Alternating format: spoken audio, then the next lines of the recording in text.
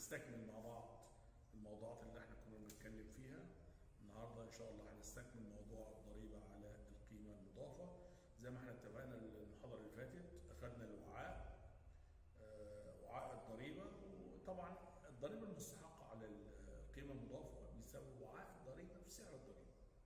وعاء الضريبة هو عبارة عن ضريبة المخرجات ناقص ضريبة المدخلات أو ضريبة البيع ناقص ضريبه الايه الشراء. المدفوعه عند الشراء بنخصمها من الضريبة اللي إحنا بنحصلها من المستهلكين السلع أو الخدمة. إذا ضريبة الوعاء الضريبة هيساوي آه، القيمة يعني أو حساب الضريبة هيساوي وعاء الضريبة في سعر الضريبة. طبعا سعر الضريبة ده ثابت بالقانون 14%. أسعار الضريبة كلها زي ما إحنا اتفقنا المحاضرة اللي فاتت 14% اعتبارا من العام المالي 2017 2018 وما زال مستمر. لكن ال ال ال ال ال الوعاء الوعاء هيساوي ضريبة المخرجات اللي هو ضريبة البيع اللي أنا باخدها عندما أبيع سلعة باخدها من الغير. ناقص الضريبة اللي أنا دافعها في المدخلات. لما بشتري مواد خام أو إن أنا بشتري من تاجر جملة أو تاجر أو من المنتج الصناعي وأنا تاجر جملة يعني مدخلاتي فاتورة الشراء بتاع تاجر الجمله أو المنتج الصناعي. يعني إذا اللي أنا شاري منه المرحلة السابقة دي دي ضريبة مدخلات. واللي أنا ببيعه بعد كده لآخرين دي ضريبة مخرجات. إذا وعاء الضريبه بيساوي ضريبة المخرجات ناقص ضريبة المدخلات. واضربه في سعر الضريبة هيديك حساب ضريبة القيمة المضافة. وخلي بالكم بعد خصم الخصومات التجاريه اللي متعرف عليها. زي ما إحنا قلنا الخصم التجاري وخصم المسموح به وخصم الكمية دي كلها خصومات تجارية متعارف عليها. فبتخصم من وعاء الضريبه. طيب لما ناخد مثال موجود في صفحة 194 نفرض مثال تطبيقي طبعا محاضره ضريبيه اثنين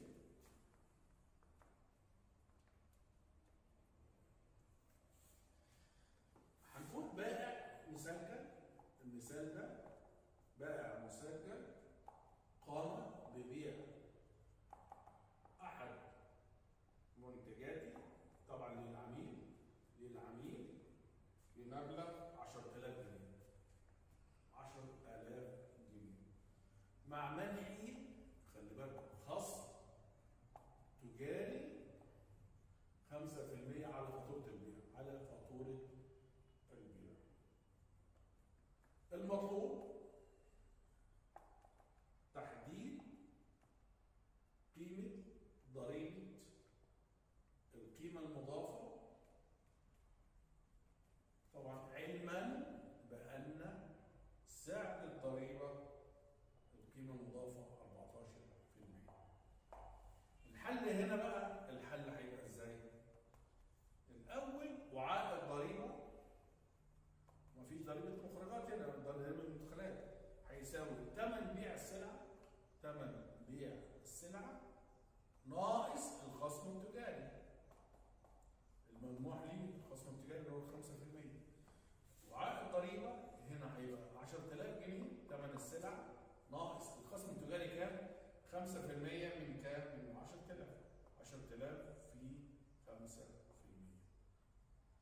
ده هيساوي 9500 يعني ده هيبقى 5000 ناقص آه، قصدي 500 ناقص 10000 10000 ناقص 500 هتجيب 9500 اذا ضريبه القيمه المضافه ده الوعاء القيمه المضافه زي ما إحنا قلنا بيساوي إيه؟ وعاء الضريبه اللي إحنا طلعناها 9500 في سعر الضريبه اللي هو 14% يعني هيساوي 9500 في سعر الضريبه كام؟ 14% هيساوي 1330 جنيه. ده بالنسبة لايه؟ للضريبه ان أنا باخد الضريبه معلش ممكن تقفل اذا ده بالنسبة لايه؟ في حاله وجود البائع المسجل في مصلحه الضرائب قام ببيع احد منتجاته للعميل بمبلغ 10000 جنيه مع منح خصم تجاري 5% على الفاتوره. لما احسب هنا ما فيش ضريبه مدخلات طبعا هو ما ادانيش في المعطيات في مثال ضريبه المدخلات فهنا ضريبه المخرجات بس اللي هو كام؟ اللي باعه بكام؟ 10000 جنيه. خلي بالك مع منحي خصم التجاري 5% يعني الخصم ده اذا احسب الضريبة على 10000 على طول؟ لا. أنا بحسب الضريبة 10000 ناقص الخصم الإيه؟ التجاري. اذا الحل هنا هنقول دايما نكتب وعائد الضريبة هيساوي ثمن بيع السلعة ناقص الخصم التجاري. ده مش الضريبة ده الوعاء الضريبة لما أضربه في سعر الضريبة هيديك الضريبة المستحقة. ده الوعاء يبقى ثمن السلعه 10000 ناقص الخصم التجاري اللي هو إيه؟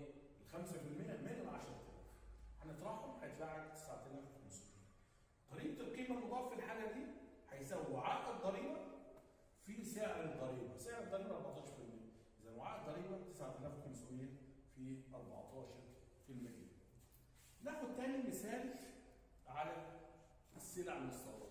دي على السلع المستورده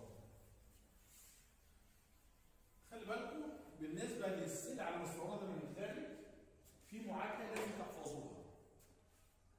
وعاء الضريبة على القيمة المضافة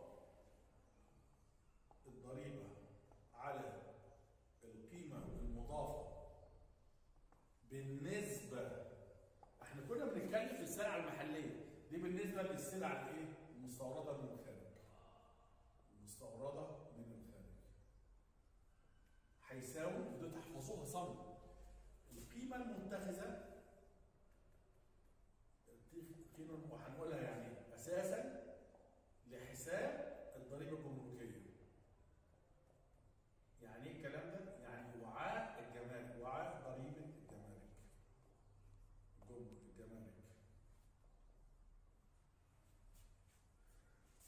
زائد الضريبه الجمركيه نفسها زائد الضريبه الجمركيه زائد غيرها من الضرائب والرسوم الاخرى يعني وعاء الضريبه على القيمه المضافه للسلع المستورده متشكل من ثلاث جوانب رئيسيه القيمه المتخذه أساسا لحساب الضريبه الجمركيه يعني وعاء الضريبه الجمركيه دي واحدة ده نمره واحد زائد اثنين الضريبه الجمركيه نفسها زائد غيرها من الضرائب والرسوم الاخرى ده الوعاء طب الضريبه اذا ضريبه القيمه المضافه للسلع المستورده القيمه المضافه هيساوي وعاء الضريبه اللي هو اللي إحنا طلعناها من الاولاني في سعر الضريبه اللي طلع من ناتج الوعاء ده كله ده في 14% ده اللي صح عند الافراج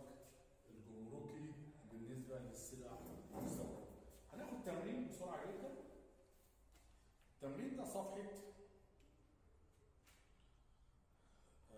ثلاثة صفحة عفوا 196 بيقول قام أحد المستوردين قام أحد المستوردين باستيراد سلع من الخارج بلغت قيمتها الخاضعة للضريبة الجمركية قيمتها الخاضعة للضريبة الجمركية 250 ألف جنيه. شاملة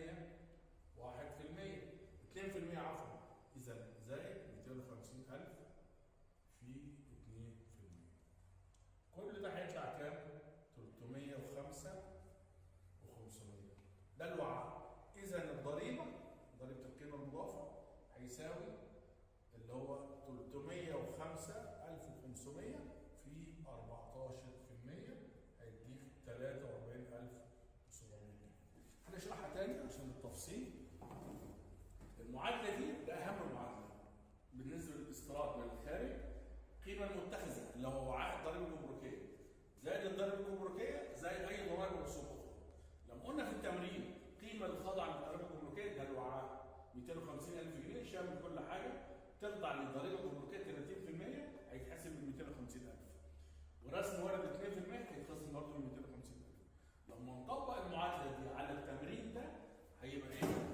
هيبقى القيمه المتخذه أساسا لحساب الضريبه الجمركيه 250000 جنيه اللي هو ده زائد الضريبه الجمركيه الضريبه الجمركيه 250000 في كام؟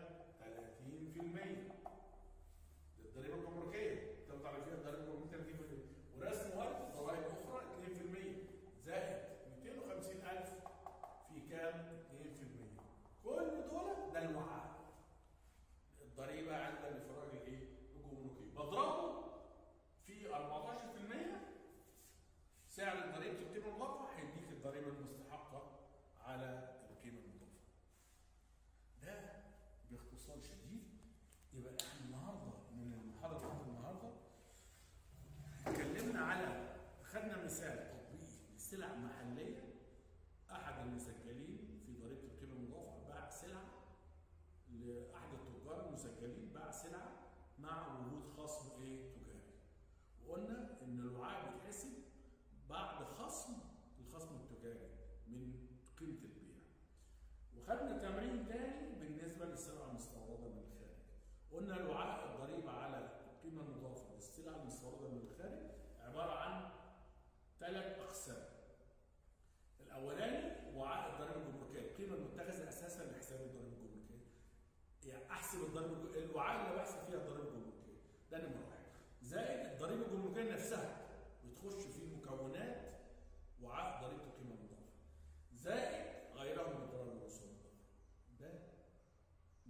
ثابته طبقا للقانون ضريبه القيمه المضافه قانون 67 ل 2016 لما أجي اطبق الكلام ده في تمرين عملي قلنا مثال قيمة سلعة مستوردة من الخارج قيمتها الخاضعة للضريبه الجمركية ده يعتبر له عائد 250000 جنيه. شامل مصاريف الشحن كله ده له عائد تخضع للضريبه الجمركية 30% اذا أحسب ال 250000 الأولاني زائد ال 250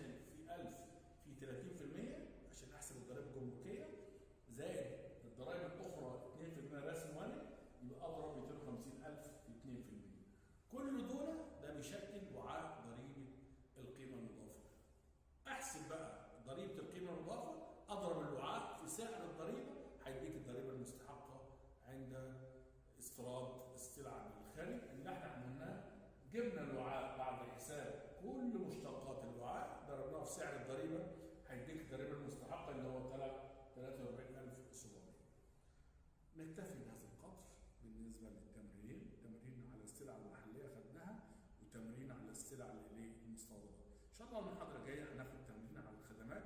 يبقى إحنا كده يعني غطينا موضوعات كويسة بتاعت القيمه المضافة.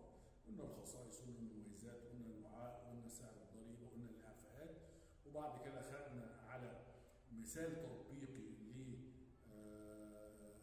للبائعين اللي هم اللي بيبيعوا في السوق المحلي بعد منح خصم تجاري. وخدنا تمرين تاني على السلع المستوردة قلنا المعادلة بتاعت السلع المستوردة. إن شاء الله المحاضرة الجاية هناخد تمرين على الخدمات باذن الله تعالى وكده يعتبر ان إحنا يعني يعني هنقرب ان إحنا نشط بالمنهج ان شاء الله بس على الله تكونوا أنتم فاهمين الموضوعات اللي إحنا بنشرحها بسيطه وسلسه وفي أي حد عنده أي استفسار أنا تحت امركم موجودين في إن شاء الله. أي تواصل عن طريق طبعا المعهد فإحنا إن شاء الله هنرد على كل الأسئلة المطروحة منكم. وأشكركم على